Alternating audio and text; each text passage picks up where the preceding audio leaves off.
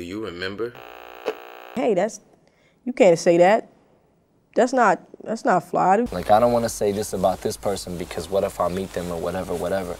See, it all went down like this. Long before the internet, when rumors used to travel state to state via word of mouth, there was this crazy rumor that got started about Lauryn Hill's distaste for white people. And even though there was no video proof or audio proof, people just ran with it. This statement allegedly took place during the background scenes of a 1996 MTV interview. Well, needless to say, white people was not having that, especially one in particular. His name is Slim Shady. Say hi.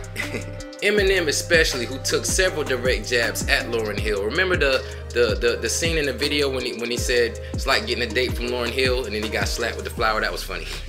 and then also, um, you know, he had something on a mixtape, I believe. Hand me beat me off and land me in space. I'ma sit on top of the world and spit on Brandy and Mase. I'm more than ill, scarier than a white person trapped in a room with Lauryn Hill. Human horror film. But to my direct knowledge, Lauryn Hill never fired any shots back at Eminem, and Lauryn Hill was no sucker on the mic. She went after several MCs, including, you know, one specifically, J. Rue the Damager, who was a beast. We all know that. Um, but this this could have had something to do with the fact maybe this was around the time she started going through personal issues. Um, you know, we, we don't know. I, I certainly don't. I'm also very surprised that nobody within the greater hip hop community actually stood up for her. Eminem was very loved and respected within the hip hop community, true indeed. And it's Lauryn Hill, man. Come on, dog. And did you actually know that in 2018, Lauryn Hill penned an open letter that actually discussed how she truly feels, according to her, about white people? What really would have been crazy if they would have went at each other lyrically, you know what I'm saying? That would have been nuts, but